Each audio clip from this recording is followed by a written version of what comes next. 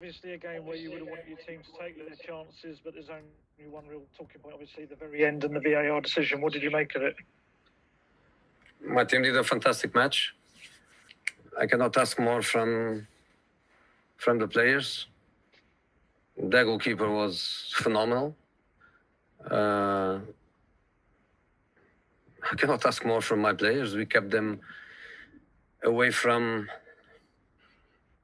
the special box, and uh, he couldn't do more than what he did. I think the team played very, very well. It was a very complete uh, match, defensively, offensively. Uh, no problems defensively. We create uh, lots of chances. Uh, really, really good. I'm very, very happy with the with the performance. But what did you make of the actual VAR decision at the end? I don't want to comment. I just don't want. Okay, we're going to go to a question from Paul Gilmore. Paul. Jose, you, you don't want to comment for fear of a fine, perhaps, but but what's your message today to the football lawmakers, IFAB, around the handball rule? I don't have a message. I don't have a message.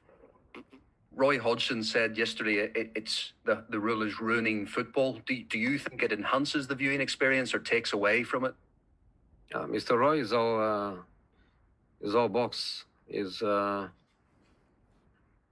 the man with more experience. Is the man with with the, the age. Is the man that is in the Premier League. I, I always consider the eldest one the boss. He has the status. He has the know-how. Is respected by by everyone. I live on him. Okay, I'm going to go to Matt Dunn. Matt, if you can unmute for me, please.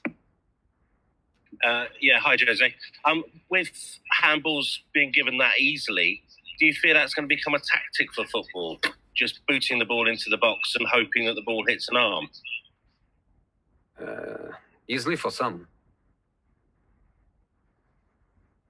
Do you think that's a shame when you've played great football for 80, 90 minutes and been equalised by somebody who's been so direct like that? You don't want me to criticize Newcastle, don't you? I'm talking about Newcastle- generally in the game. I, I only the only thing I can say is that we played very well. Played very well. That's the only thing that I can that I can I can say. We played very well. Okay, I'm going to go to Dan Kilpatrick. Dan. I'm going to take one more after Dan, and then we're going to move on to a, a Chelsea preview. Okay, so Dan, do you want to? Jose, it looked like your goalkeeping coach Nuno Santos might have got a red card after the final whistle. Um, it was a bit confusing. Can you shed any light on, on what happened there at all? The only thing that I know is that I'm more experienced than him, and I left the tunnel when the referee blew the whistle uh, for the last uh, for the last time. Uh, I know that uh, in some matches with some clubs, even after the last whistle, it's possible to happen something important.